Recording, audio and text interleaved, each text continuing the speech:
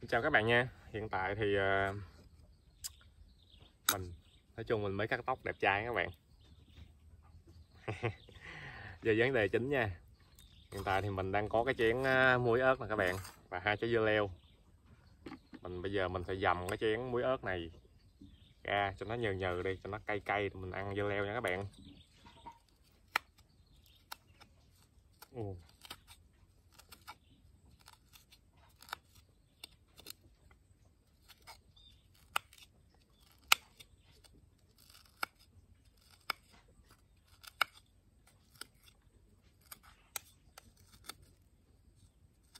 Ừ.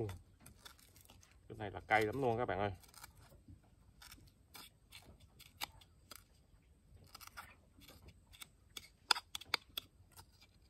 Rất là cay.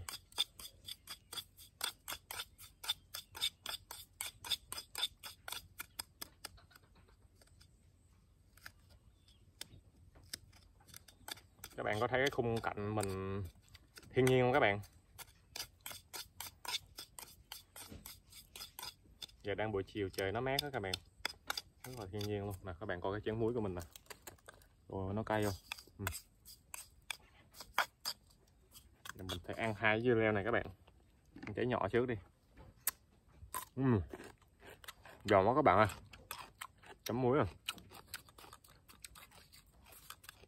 ừ, các bạn ừ, ừ. Uhm. Độ bền các bạn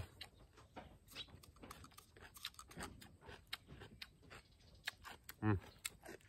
ăn hai dưa leo chấm muối là chắc no các bạn ơi ừ.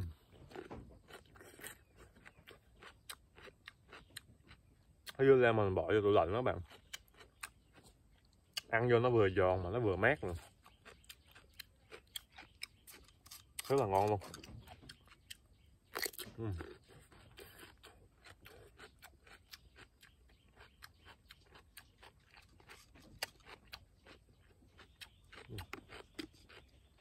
Mình bỏ một miếng ớt lên mình ăn. Các bạn ớt nè các bạn. Ừ. bỏ miếng ớt lên đây. Ừ. à, cái chén cái chén này mình ớt không nè. Các bạn. Mình hấp dẫn luôn ha. Bây giờ mình sẽ ăn cái à, ăn cái miếng ớt này coi nó có cay không nha. Ừ.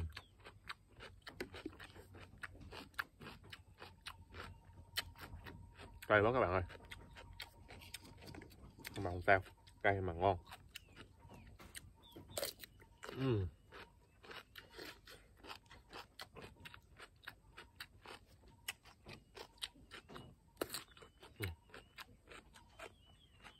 cái khúc đường là nó đắng nên mà mình bỏ các bạn. Mình ăn tiếp cái trái tiếp theo này. Tiếp theo là mình chấm luôn. Rất là tuyệt vời luôn các bạn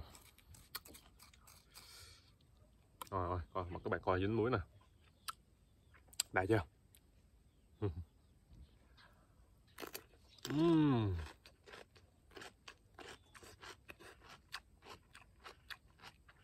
Uhm.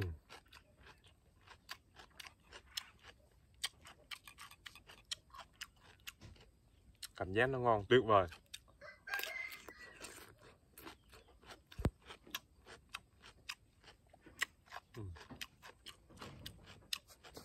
nó mới cắt tóc đẹp trai về cho nên là ăn dưa leo rửa đầu các bạn.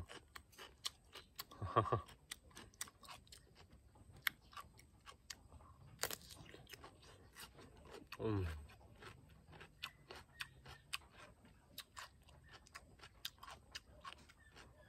các bạn có nghe được cái tiếng mà giòn tan trong miệng các bạn? Rất là hấp dẫn luôn.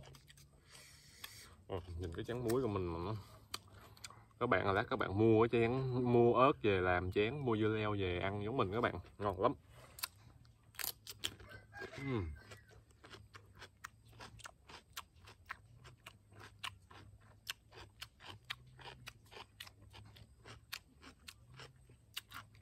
rất là tuyệt vời.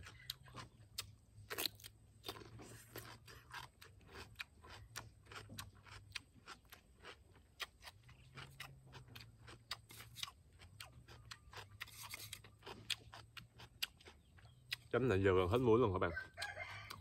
Còn ớt không à?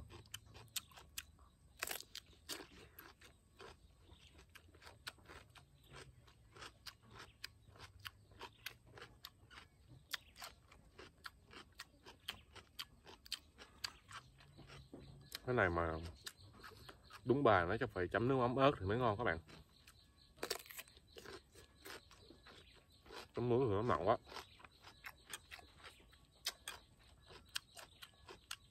Ừ cái là đắng rồi các bạn?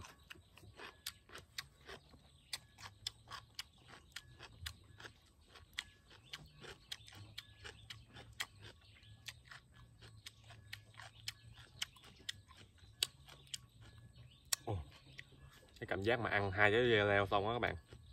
Khi mà mình ăn xong hai trái dưa leo, chắc khoảng tầm nửa tiếng sau mới ăn cơm được các bạn. Tại vì ăn hai trái leo là no chắc video tới đây kết thúc à, hẹn gặp lại các bạn trong những à, video tiếp theo của mình đó. video tiếp theo không biết ăn gì nữa.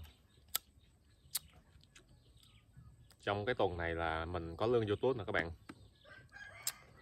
Nên là mình chắc là sẽ mua một món gì đó về ăn mừng cái à, lương youtube của mình các bạn nhớ đón xem chờ cái video tiếp theo mình sẽ chia sẻ cái số tiền lương youtube mà mình nhận được lên cho các bạn xem nha các bạn. Còn bây giờ cái video tới đây chắc là kết thúc. Hẹn gặp lại các bạn trong những à, video tiếp theo của mình. Bye bye.